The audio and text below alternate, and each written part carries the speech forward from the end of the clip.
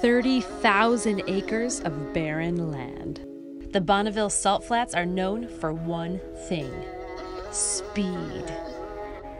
Just this week at Bonneville Speed Week, a new record was set at 448 miles an hour.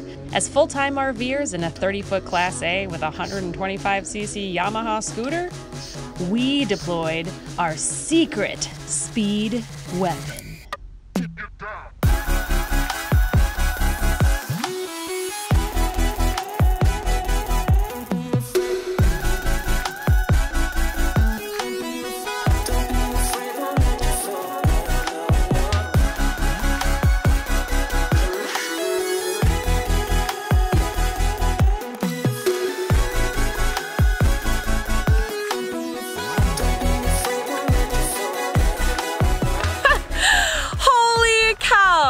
Completely exceeded expectations. And I would say that not a lot of things exceed expectations because we research it so much online, we kind of know exactly what to expect. This is so very cool. We had so much fun just like driving around on the scooter, driving around in the RV. Uh, it was fun that my parents were here for this. And everyone out here is having a great time. Like cars are just kind of like whipping by, doing their own thing. People in, you know, just like four door vehicles are going way down that we can't even see anymore. Hey, a tip if you are planning on coming out here. So you're not camping out here on the salt flats. There is BLM right up here in these mountains, which is better because then you're protected a little bit. It was pretty windy last night. Um, but you're just, you're basically like right here at the entrance. Uh, so not, don't plan on camping on the salt flats, just nearby.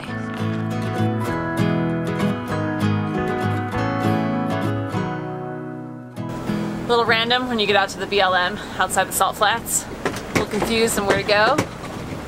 Whew. Fortunately, Campendium has exact GPS coordinates, great spots. So not that you necessarily need to camp right in them, but it'll at least help you find the direction on which way to go down these dirt roads. Or you go up here, go park up there. Oh, I see. Yeah. Right, okay, so that's like one. Oh, you get, yeah, because it turns out right there like that. Kind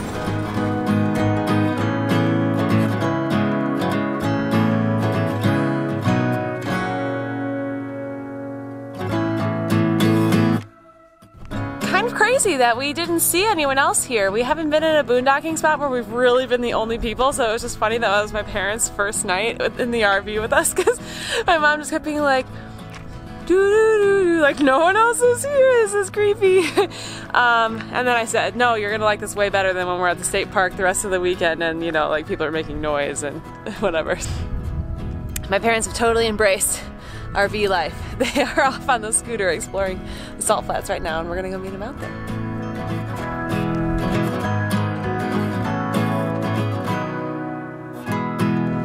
Checking off Bonneville Salt Flats on the bucket list and what I'm hoping to be the very last day in the dry, hot, arid desert. Looking forward to what season three brings. Beautiful, green, lush, mountainous areas with streams and rivers and beautiful views. But my family here is making fun of me because there will also be plenty of things to complain about in the mountains like mosquitoes and cold weather and rain and all those other great things that we'll find in the mountains. But you know what? Change is good, and we are ready for change, and hopefully you guys are too, right here on season three.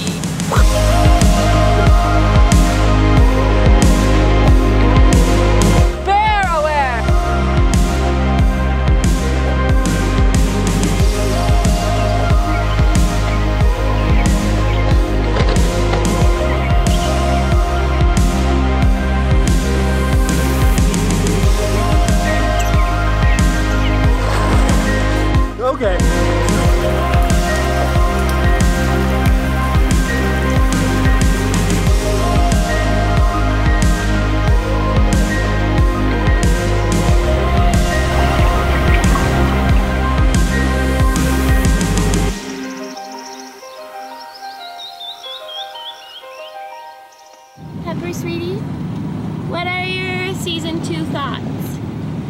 Is it that it was hot? Yes. Are you looking forward to season three and gonna be in the mountains? Yes. She loves swimming. Well, Pepper, this has been a very stimulating interview with you. Thank you very much, and we'll see you next season. Okay, go back to sleep. It's okay. All right.